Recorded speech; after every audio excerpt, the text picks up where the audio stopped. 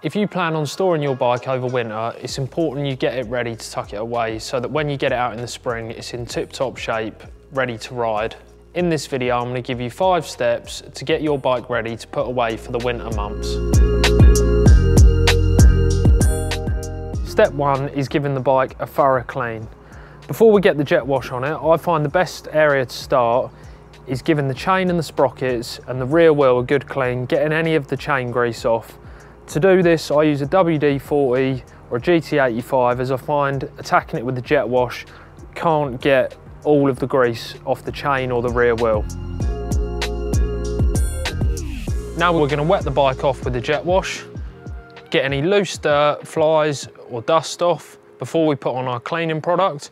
When using the jet wash, just be mindful when you get to areas like the brakes, the dash, the chain, making sure that we don't get too close because with a powerful jet wash, we could damage things like bearings or O-rings.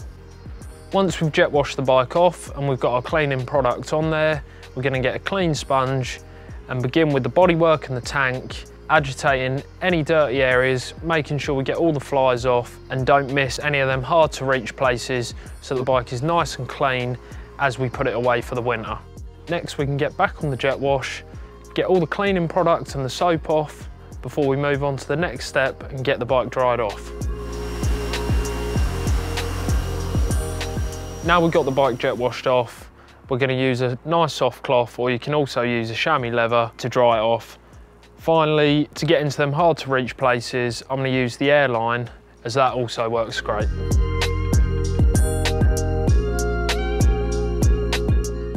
Now we've got the bike nice and dry, we're gonna get it back on the paddock stand and get all the excess water off the chain and give it a coat of lube to stop it rusting as we put it away.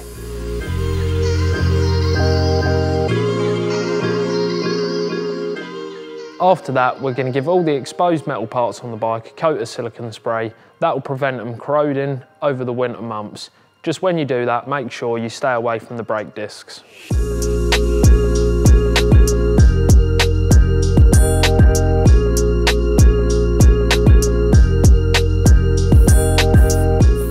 With all the exposed metal parts now siliconed up, we're going to give the bodywork a coat of polish and also do the same with the switch gears and all the black plastic parts.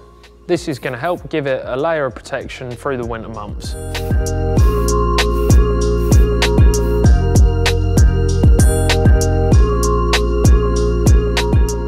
Step number three is making sure that your battery is in good condition when you get your bike out in the spring.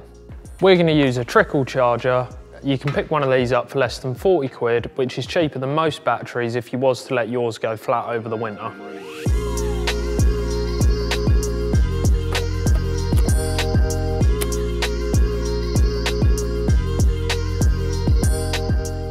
Step four is getting the bike elevated off the ground so that the wheels are in the air. We're going to do this using a rear paddock stand and a front paddock stand. The reason for this is if the bike's left for a long period of time without moving, the tyres can potentially flat spot and that could damage the carcass. If you haven't got access to a paddock stand, you can put the bike on its side or centre stand, put something soft under the tyres and slightly overinflate them.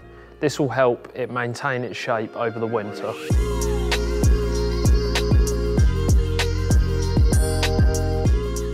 The fifth and final step we're gonna brim the petrol tank and put the bike cover over it. The reason we're gonna brim the tank is to prevent any rust getting inside the petrol tank over the winter months. If you've got a carbed bike, I would suggest you put some additive in the fuel to prevent it gelling up the carbs and blocking them. Or the other alternative to this is just starting it up every couple of weeks, making sure that fresh fuel is kept in the carbs.